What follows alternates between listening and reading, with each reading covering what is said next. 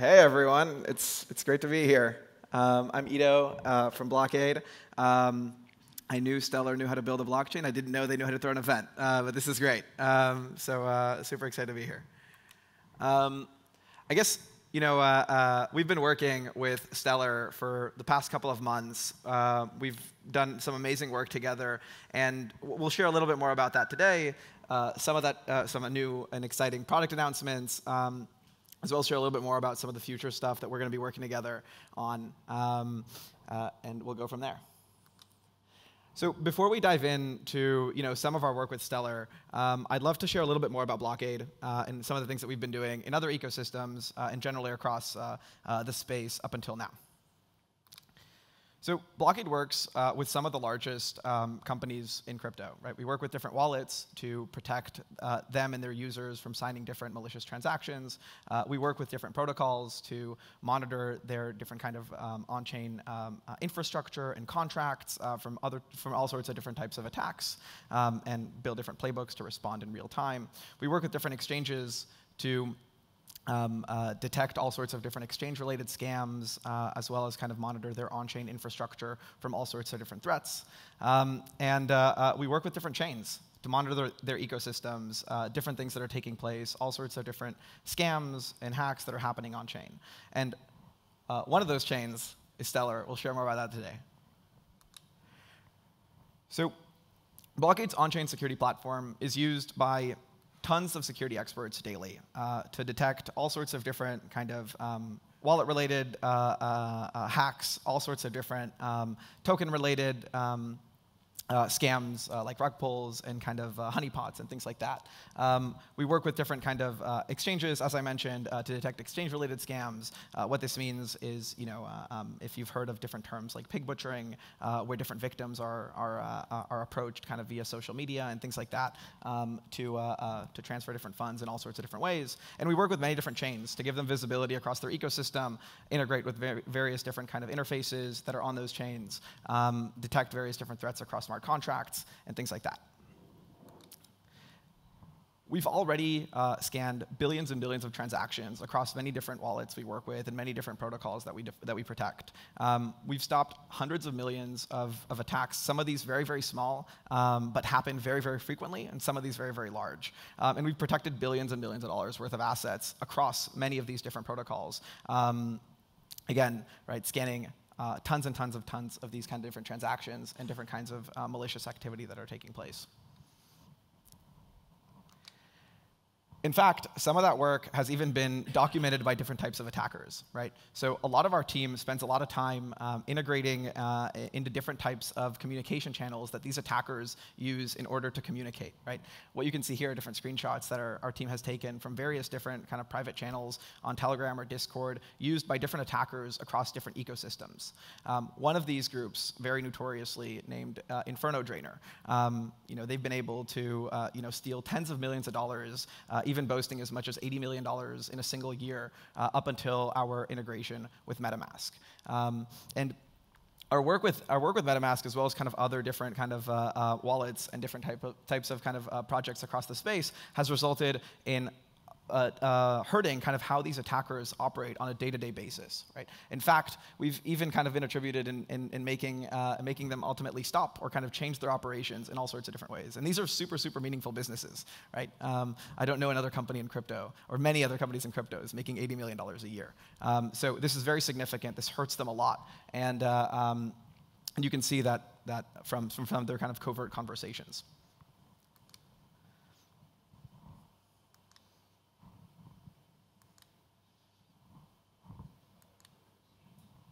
I guess it's ran out of battery. Can we hit the next slide?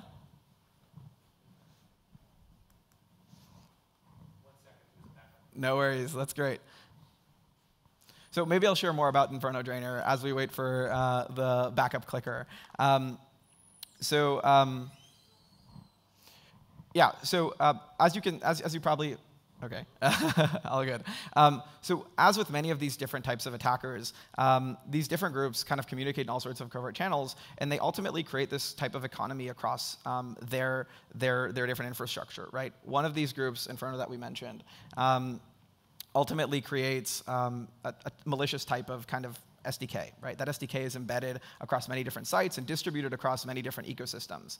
Um, and, and that's how kind of these wallet drainers, as well as other types of groups, operate, right? Um, it's only one of kind of the, the verticals that we target and we work on, but many of these different groups ultimately um, uh, create these, these different types of, um, of, of, SDKs, they embed them in different sites, and they use them to you know, share funds in different ways. And you can monitor and see those types of activities on chain, right? So when an Inferno Drainer uh, embeds its various different kind of SDKs into you know, a fake site, um, you'll see some of those funds moving to some of the attacker, uh, to, to them essentially on chain. And then you'll see some of those funds moving to, it's working out? I don't know.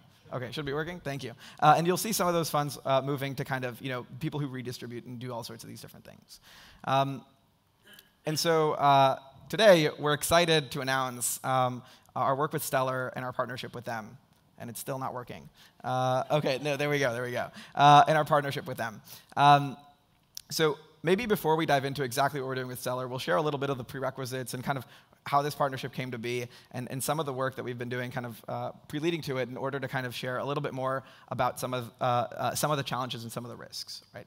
Um, so Stellar, like many of the leading kind of blockchains across the space, suffers from uh, symptoms of success, right? Um, when, when blockchain scale, when users use them, many different types of attackers take notice. Um, and ultimately, you know, Stellar, with this kind of success, has brought on uh, the attention of many of these different types of bad actors. Um, in a report uh, constructed by Blockaid uh, several months before kind of uh, integrating and launching with Stellar, um, we were able to see that over $7 million was stolen uh, in just three months by one of these different groups. Um, the leading group across this space, uh, targeting Stellar specifically, is QSI. You can see with almost 80% market share across various different scams and malicious activity taking place on chain. But there's other smaller groups um, and malicious kind of activity that's also happening. Um, and this malicious activity is, is, is pretty prominent, right? Um, it takes up, um, um, in terms of uh, activity, uh, a large percentage of, uh, uh, of some of the activity that's happening on chain because these attackers are so successful in their means and their ways to operate and do all sorts of these different kind of malicious activities. And like I was saying, right, um, this is a symptom of success, right? It's not because crypto is innately bad, and it's not because any one of these chains is innately kind of less secure or more secure than anyone, than anyone or other. Um, but it's because, you know, crypto makes money move like data. Um, and the fact that money moves like data makes it much, much more easy for attackers to move that money in all sorts of different ways. Um, and so, from an attacker's perspective, when they go and kind of decide where, they go, where they're going to spend their time, where they're going to you know, construct these types of operations, they look at crypto as, as a means to an end, uh, but just faster.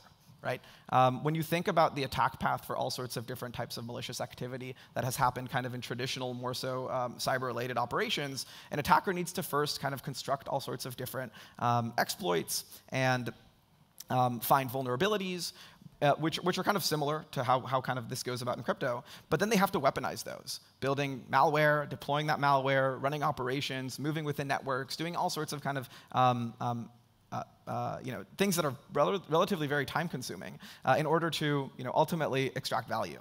Um, and in crypto, you can find a vulnerability, right? Uh, Muli and, uh, um, and Robert and some of the others kind of before here were, were, explaining, right? How kind of you go about finding these vulnerabilities. You can find these vulnerabilities, but they ultimately result in in, in, funds as opposed to resulting in code execution, which results in a very, very long form operation. Um, and so that's why these attackers kind of target this space, because it just moves money much, much more easily. And so, what are we doing about it? Uh, and what are some of the what's some of the work that we've been working on with Stellar uh, in order to kind of stop and prevent some of these different different types of malicious activity? So. Today, we're excited to announce Blockaid's security platform launching on Stellar um, with a couple initial kind of partners, um, but we're really excited to continue to work with many more across the ecosystem to continue to support it. And those first two launch partners are Lobster and Freighter. Come on, guys. That's awesome. Okay, very, very cool. We'll show a couple more demos on how kind of uh, Freighter and how Lobster have integrated parts of Blockaid. Some uh, talk a little bit more about, about how kind of you know, these security solutions have helped them out, and spend a little bit of time talking about what's next and how kind of we can continue to work with you know, some of the broader ecosystem. There's awesome a video here. So what we're going to see here is a quick video of uh, our integration with Freighter. What you can see here is a malicious dApp. We'll talk through what this malicious dApp means in a second, but before then, we'll show you kind of some of the new features that Freighter has launched in order to kind of uh, emphasize and show users, you know, how, uh, um, um, what not to do when interacting with these. That was pretty fast. We can play it again real quick, and I'll walk you through it. Um, so again, kind of these malicious dApps, how they operate is again kind of looking like very, very similar different types of applications, right? Um, they have different types of malicious SDKs behind the scenes that kind of query a wallet, prompt them, and kind of uh, explore what different types of transactions uh, they should prompt the user in order to um, um, to steal as much funds as possible, right? And so they construct this type of transaction. They send that to the wallet. That wallet, uh, without Blockaid, presents kind of a transaction screen that's ultimately very, very difficult to parse and understand. What we can see with Freighter is them kind of very, very clearly explaining to a user, hey, you shouldn't sign this. Um, this is a malicious transaction. It'll drain your wallet. Awesome. Lobster has also done a great job integrating Blockaid. Um, first and foremost, through kind of detecting malicious transactions. Again, we'll see kind of um, a, uh, a quick video here, specifically kind of of sending addresses to a specific malicious address. You'll see that you know a user plugs in some uh, um, um, plugs in the different kind of amounts of funds that, that they want to send. Uh, they'll continue and ultimately attempt to send these funds to, again, some sort of scammer or some sort of malicious actor. And we'll see kind of, again, that, that notification. We'll run this through a little bit. Oh, whoops. Um, and we'll see that notification uh, come up and share kind of with the user that they shouldn't kind of continue and they shouldn't kind of uh, sign these funds in different ways. And so both, both Freighter and both um, Lobster have integrated Blockaid's transaction scanning APIs. Um, and in the coming months, they'll also work on integrating um, our malicious token detection as well as uh, dApp scanning endpoints in order to make sure that they're protecting users across the entire, um, the entire kind of uh, uh, scan with various different levels of defense in depth in order to make sure that users aren't kind of uh, interacting with, with these kind of different things.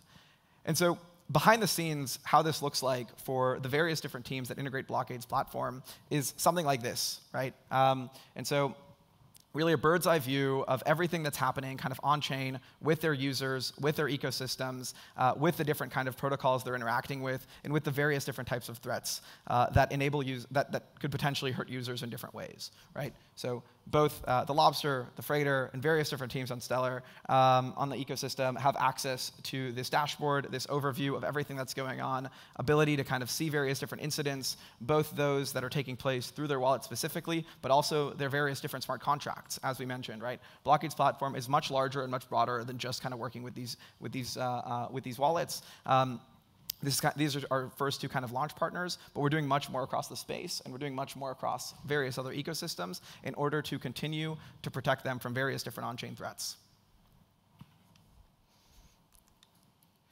And so, you know, by working with Stellar, by working with many of these teams, we think that by building better security solutions, we're enabling kind of broader and better trust, right? Uh, that bigger trust will lead to, you know, more adoption, and, and more adoption is what we're all here for. Um, and so, you know, we're super, super excited to work with Stellar, work with Lobster, work with Freighter, but also work with many of you here at you know uh, um, um, the, this kind of developer track, uh, you know, building on Stellar, building on chain uh, to protect and monitor and secure your various different assets that are taking place um, and your various different kind of smart contracts and infrastructure that you're building on chain. We, have shared a little bit about some of the work that we're doing. There's a lot more. Um, we're, we're here all week or until Thursday, um, and we're walking around. You'll see kind of uh, uh, myself, my co-founder Raz, uh, Shahar was here with us as well, uh, wearing Blockaid shirts. We're walking around. We're excited to talk to you, to builders that are building kind of on Stellar, about security, about how we're thinking about things, about how you're thinking about things, and how maybe you could leverage Blockaid to make sure that it's just all that more secure. Um, um, and, uh, um, and exciting to kind of build and work on Stellar. Um, so I guess uh, uh, thanks. Like I said, I'm Ido. Uh, I know uh, I was asked to leave some time for Q&As at the end. I hope it's enough. Uh, so, so feel free um, if you guys have any questions um, or reach out after and we can chat. Awesome.